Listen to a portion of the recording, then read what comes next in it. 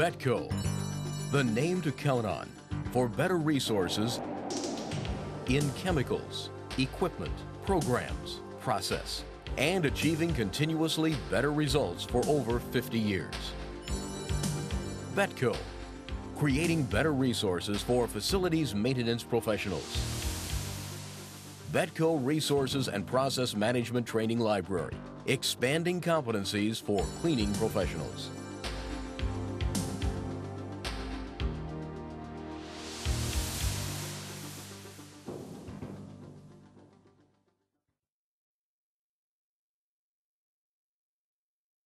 Learning to become a professional custodian or housekeeper can be a challenging and rewarding career. Your job is important to the image of the facility and to the health of all who enter the building. As with every job, you must first master the basics before you're able to tackle the more complex cleaning tasks and procedures. By following the lessons provided in this training, you will be able to save time with your cleaning efforts, increase productivity, work smarter, not harder, and be on your way to becoming a valuable cleaning professional. This training module, which is one in the Betco Resource and Process Management series, focuses on basic cleaning techniques for cleaning maintenance professionals.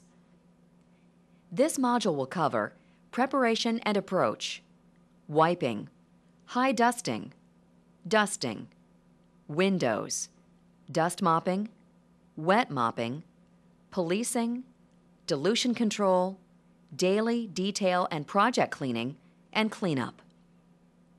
The purpose of this overview is to provide a basic knowledge on popular daily cleaning tasks. It does not cover complete cleaning applications or techniques for entire rooms or surfaces. Betco has over 300 specialty cleaning products and a full line of equipment and accessories. The following chemicals will be utilized throughout this module. Betco Bright MSP Multi-Surface Polish, Deep Blue Glass and Surface Cleaner, Dust Mop Treatment, pH7 All-Purpose Neutral Cleaner or QuatStat Broad Spectrum Disinfectant. When preparing for any cleaning task, be sure that you have all the necessary equipment and chemicals for each procedure that will be performed. Load your cart with all the properly labeled cleaners that will be needed. Double check your supplies and always remember your personal protective equipment. Follow universal precautions for all bloodborne pathogen spills. Read and understand the MSDS for every chemical that you use. Before proceeding with your tasks for the day, take a minute to think about how to make the most of your time. For instance, does it make sense to wet mop the hallways before you are finished cleaning the restrooms? Or high dusting after you have wiped down the furniture? Probably not. Remember these simple rules for cleaning. Clean from top to bottom, bringing the soil to the lowest level. Clean from dry to wet. Begin cleaning from dirtiest to cleanest. Use a pattern such as working clockwise around the room when dusting or wiping walls. And finally, when mopping, start from the furthest corner and work toward the door. Following these rules will help you make the most of your time and get the best results from your cleaning efforts. There are two basic techniques to wiping spray and wipe and damp wipe. Usually, your chemical label will recommend the best method based on product or procedure. To spray and wipe, simply spray the surface to be cleaned with an ample amount of product. If using a disinfectant, allow for the proper contact time before wiping. For damp wipe procedure, spray the sponge or cloth with the appropriate cleaner. Wipe in a consistent pattern, such as up and down, then back and forth, to ensure that you cover an entire surface. Be sure to overlap your strokes. Typically, you will use a spray and wipe approach for surfaces that have visible soils, such as urinals, toilets, or spots on walls. Damp wiping is most effective for surfaces that need a lighter cleaning, such as desktops and countertops. Damp wiping is also best when chemical residue should be limited, such as on phones and drinking fountains. Learning which approach to use can save time, decrease product usage, and limit chemical exposure. It's amazing how much dust and debris gets trapped on the fixtures and crevices above our heads. If high dusting is neglected, then the soil can affect the air quality and breed harmful microorganisms. Use a high dust tool to gather dust and debris from the top of ceiling and wall fixtures and corners several times a week. Work clockwise around the room. Be careful not to overextend your arms. If necessary, carefully use a ladder or stepping stool. When finished, shake the tool into a trash receptacle.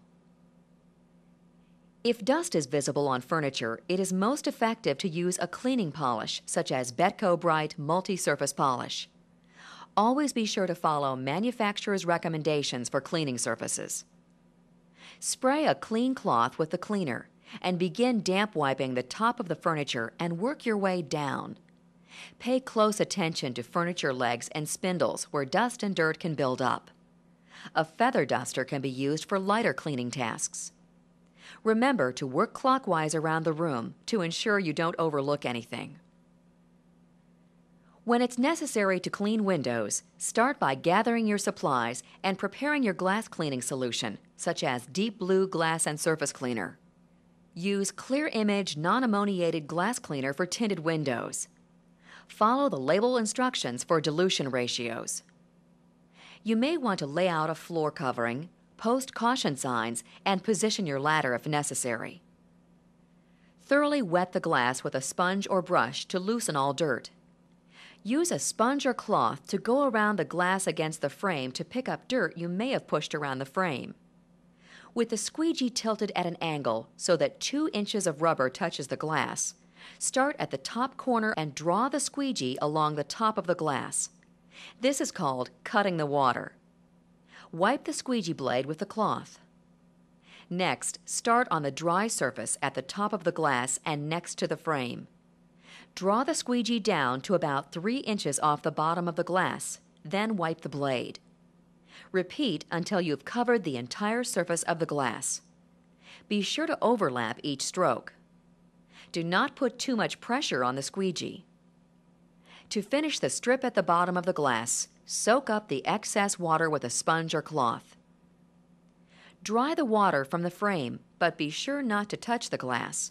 Using a dry mop, wipe any excess to prevent a slippery floor.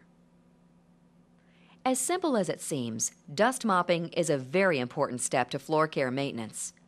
Lifting the surface dirt helps prevent it from getting deep down into the finish. It also prepares it for wet cleaning. Use the appropriate size mop head for the floor space.